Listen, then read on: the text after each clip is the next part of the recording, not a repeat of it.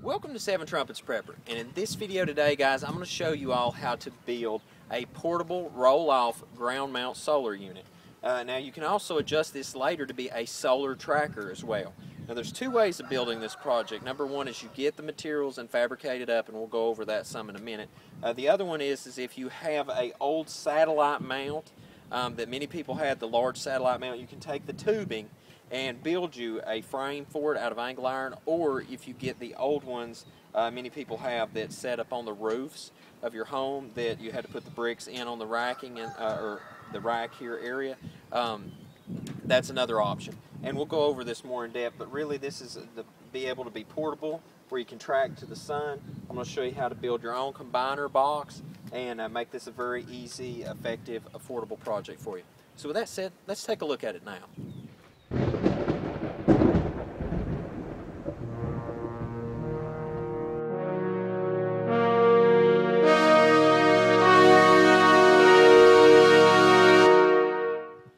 Now guys, on this build, before I go into the step by step by step, I just wanted to take you a quick tour around the finished product here. Is these panels that are being used for this project, they are polycrystalline. And I got these from uh, HurricaneWindPower.com and I'll give you the specs on the panels right there should you want to use the same type for your install. Uh, monocrystalline are good too. Um, I prefer Renogy panels if I'm going to use uh, uh, mono. Um, they've not let me down yet, but now these are the polycrystalline ones right there. Now, uh, what I've done in short is, like I was saying in the beginning here, is recycled a uh, satellite mount is what that I done with this and I'll take you through it step by step here just shortly. Right here is the combiner box. Got to throw some paint on the rest of this. But um, in short, what I done is to save with the all the cables and everything. I just created a combiner box there to go in and everything. But now that's what you will end up with here, uh, step by step, and I'll show you how to do it all, especially the combiner. And uh, a great project. You can knock this out in a day, a day or two. And um, also, my grass is kind of high right now, but you can put wheels on it so you can roll this up on a trailer and uh, with the handles and everything on the back side with a pull chain or a pull strap you can load this up. Two people can load it up move it wherever you want to go. So it's got versatility to it as well. So that said let's get to looking at the components one by one. Okay guys now before I begin painting this frame uh, what I wanted to do is just go over with you real quickly. There's two options um, for making a solar mount that's really affordable that's portable um, you can, number one, is get you an old SATCOM mount. Now, the way that would work is you want to take with a um, portable porta saw and you want to cut you an L-shaped notch and that'll get rid of that excess bracket that's hanging down under the SATCOM dish. And then once you get rid of the parabolic dish is then you can unbolt that there uh, from the dish obviously. And once it's removed then you've got this cup mount and it's also got the radius scales so that you can turn the equatorial mount and also adjust the angle. Uh, so it's perfect for setting your solar angle and I'll put in the video description below a, a link where you can go and find your solar angle for where you're at in the world. Now as far as the frame goes, um, the only thing I would say to the SATCOM mount, if you have one of these that used to set out in the yard, if you got one that was concreted in, all you've got is the tube coming up with the equatorial mount. But what you can do is take that tube down, and then you can cut you some quarter inch angle that's seven foot long by seven foot long. Frame out your square, and then come through with the angle pieces to meet it. You can either cut it and bolt it or weld it. It's totally that's up to you, but just make sure you get your seven foot by seven foot square, and then from there you will know uh, you can measure out the rest for how you want to fit your tube in the center uh, and come in with these angles here. But now uh, the best uh, option for that is just get you some quarter inch angle iron to do that. But now if you already have the mount like this that many people uh, could just set on the roof and then you put the bricks to hold it down, right here I took some angle iron that had the uh, bolt holes because I was thinking about um, adding some toolboxes and some batteries and things on this later is I took and added that not only to stiffen the frame but like I said to put storage on it as well. And then I added some wheels. Uh, I've got to redo my bracket right there. Um, but I put some wheels so that I could pick it up and roll it. And we're kind of sitting in the high grass right now where I'm getting this ready to paint. But now as far as the mount goes once that you do have it finished is you don't want to come out here with uh, your tubing or your channel if you actually just buy the solar channel, I had the uh, one inch tubing and you know how I am, I always recycle things. So I didn't buy no solar channel. But if you have your channel, then you can obviously just bolt it right to your equatorial mount. But don't put enough channel on here as far as this design goes, enough that you can hold more than three panels because what you'll do is create a sail in the wind. As you've seen in the beginning of the video, my panel ends here and the other one ends here, and that leaves where that I can easily adjust that too for uh, the angle that way. So anyway, I'm going to get this painted and we'll take another look at it. Now at this portion of the build, when you've got your equatorial mount in place with your brackets, uh, what you want to do now is you want to lay your panels out on a flat surface. I did mine on my back porch. And you want to make sure that you're even on the edges. And if you put this across your mount right, you'll have that mounted uh, the proper angle. And then you want to take you a level and run up the edges on the front and on the bottom, I'm sorry, on the top part would be your top and then on your bottom. And then you're going to take your Sharpie and you're going to mark off your hashes for where your bolts are going to go through. And I'll show you the bolts and stuff I'm using in a minute. And you're going to hash that off on the insides as well. Because now those four uh, areas right there is what's going to hold us to it. Now there is another option, is should you choose to do it. Uh, I'm not going to go that route uh, because I'm just going to take the time and drill some holes and save some money. But you can take and get you some of the L brackets uh, that's sold for solar mounting and you can just screw it into the uh, angle and then down to your solar frame uh, or solar frame on your panel. So it's totally up to you. That's at your discretion. There's your two options. You can do as I'm doing right now and then drill through, mark my holes and drill through for the mount of the bolt. Um, or you can just get the angle brackets. It's totally up to you. Um, you can also get you some angle iron and just cut you out some brackets and screw them together. That's another option uh, with self-tapping uh, metal screws. So anyway, I'm going to get to work on this and we'll show you the next step. Alright, now at this point the build, we're going to drill this out. Now, I have got a 3 16 drill bit and I've got a 5 16 drill bit. And uh, also, the nuts and bolts that I'm going to be using right here, uh, get this to uh, clear up. That's 5 16ths uh, 18 by 1 and uh, 1 inch. Uh, that's the hex bolts right there. And then for the washers, we are using 3 eighths um, because that's uh, what I could come up with there. But I found that they, they mesh up against the, the bolt head okay, so we'll let that fly. Uh, but anyway, that's that's what I'm using right there. And so I'm going to get that drilled out. Uh, if you get these at Walmart, um, the particular bolts, you're going to need three packs because they only have three bolts in each. Um, so you're going to need a total of uh, eight. Um, so anyway, just uh, some 411 on that. That one pack of washers will do the whole project. Now while my combiner box is drying here, um, I've got that on the, the paint area for the moment, uh, waiting for that to dry.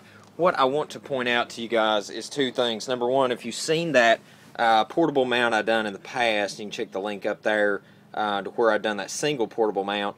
Uh, you'll know that I used old pallet wood to slide in between the frames so that when I dropped out of the metal there from putting all that force on it, I wouldn't crush the sails on the other side, but instead I'd stop in that wood.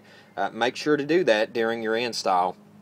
Secondly, make sure that when you do have these marked off uh, at the proper distance, angles, and square and everything, that you make sure and measure from your frame mount down to make sure that you're equal distances because although it might look, you know, on the money, uh, you could be off by just a little bit, and then it'll be all weird looking on the frame mount. It'll be kind of crooked looking.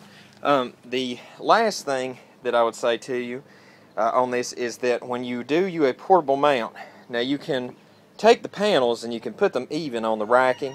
That's up to you. But now what I've done is I've done like a 60-40 um, offset. What I mean by that is I've got about 60% of the panels up onto the frame and I've only got about 40% hanging out the bottom. And I have a gap between so now what I've done here is I've got it where that when this if I if I set my solar angle really low and I need to move it I won't catch my frame supports that are down on the ground uh, coming up holding my post up. And where I have a gap between here I've not got a huge sail in the wind. And that also gives me access to easily um, do any wiring modifications or any service that I need to do to my combiner box, which shouldn't never need to take place, but just in case, uh, there's that option there as well. So just some quick notes on that. Okay guys, now at this portion in the build, once that you've got the fasteners in place on your brackets, all that's left to do now is we're going to put the combiner box in. Now, my advice is put your combiner box in the center of your panels to the front so that everything's always easily accessible because later when this is on the mount, you're not going to be able to get up and under and work on it very easily. So with it on the mount and tilted, you're going to be able to easily walk up, always clean your panels, uh, very accessible, and also the combiner box is right here, easily accessible. So if you need to check uh, to make sure that your panels are putting out or anything like that, you've got no issues there. And also with the design, um, depending on the satellite mount that you use or the uh, the old TV mount that you use, uh, if you uh, need to adjust the solar angle uh, as far as uh, delineating it to uh, where you're at on the planet, you can loosen it there easily. And then also on the back, actually setting the angle itself upright, depending on where you're at, you have that access easy too. So. Um, at this point, really all you got to do is mount it to the bracket and then begin your combiner box. Now at this portion of the build, we're going to start on our combiner box. Now what you're going to do is you've cut the leads off the solar panels at the end where the MC4 cables are, and you're going to save two of those MC4 cables. Alright, and now the reason we're doing this is so that we don't have a bunch of Y adapters and all this junk hanging on the back of the thing. We're going to have a really neat box uh, when we're done. Now the box that you're going to need from uh, Lowe's is going to be uh, a marine box. It's the Type 4 uh, 4X 6P and it's the utility outlet box. I think it's the uh, uh, 4 inch by 4 inch box. And I cut two of the tabs off and I filed it down there. I'm going to repaint that and that's going to screw on to the mount outside. And I'll show you that in a minute. Now what I'm going to do is I'm going to have my leads and you can do this ever how you want but uh, I'm going to have my leads come in uh, through the back right here. So there'll be one port and the other port sticking out right there. And what I'm going to do is I'm going to take this half inch drill bit and I'm going to drill that out those two spots. And right here I'm going to stick the threads up through where that I can tighten my cap down onto that. And then at that point I'm going to take the bus bar right here that I got at Radio Shack. And you can see where I took the Dremel and I cut those notches off right there so that we have an open access. And so what will happen is there'll be the MC4 cable pieces. They'll have a yellow slide in adapter right here. Spade terminal okay? And that will come into there.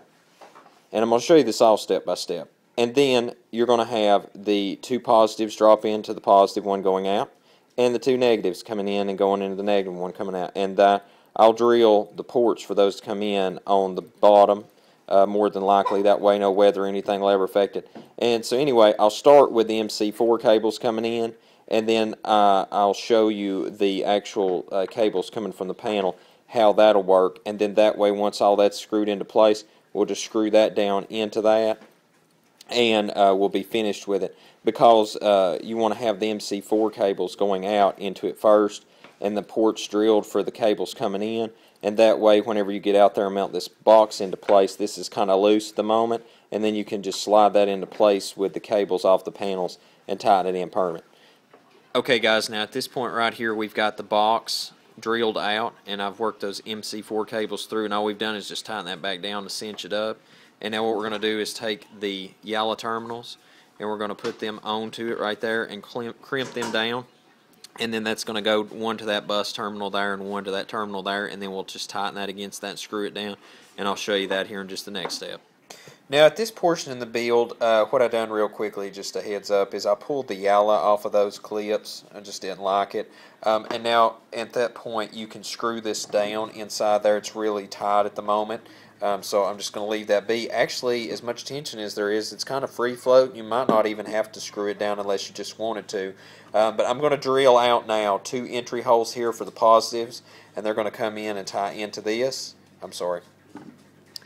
Positives over here. So the positives will come in and tie in over here and then the negatives will come in and tie in over here and that's going to uh, bring that out to the point where that you can put your extension on and bring it into your uh, charge controller or to your solar generator direct, depending if you have one with MC4 cable uh, automatic connections like Solaron generators, for example. So at this point now, we'll get that drilled out, get the wires in, screw this on to the mount out there, and you'll see how it looks.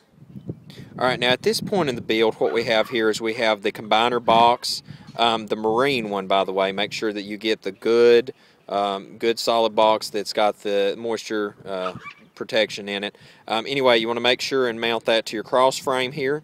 And I've ran all my wires that are for the hot over to here, and all the ground ones are going to go out to here. And now I'm going to step around the uh, array right now so that we can take a look at the back here and you can see why that I went to all this trouble. Now I don't have all these wire connectors and all this junk hanging down. I just have these two running into the box in the back and these two coming off here very neatly. And what's going to happen now is the only thing I have coming off of this mount is just the MC4 uh, the two drops. That's it. And uh, uh, really really neat looking. Um, once I get the final paint job on here it'll be really nicely done. Um, but at this point now what we're going to do now is just run both of those with the uh, clips on the end into right there into that pin. And all these clips will go into that pin right there and um, I'll show you that once it's wired.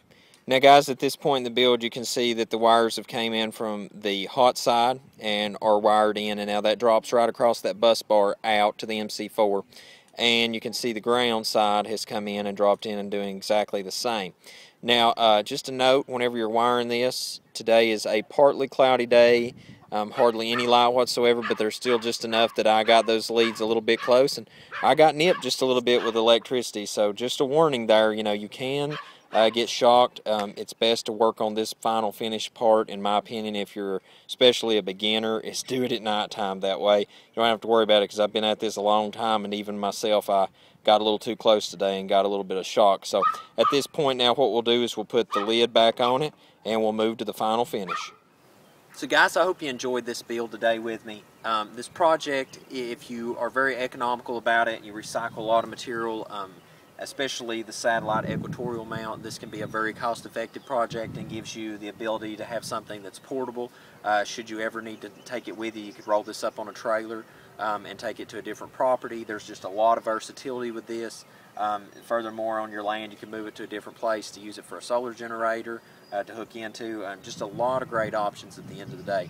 So I hope you've enjoyed this build. I hope you uh, learned quite a bit from how to build a combiner box. It's a great thing to know how to do because um, if you don't have MC4 cables, the ability to build the cables and things like that later down the road, uh, just good things to know. So until we see you again here at Seven Trumpets Prepper Channel and another build project, I hope you have a most blessed day in Yahushua name.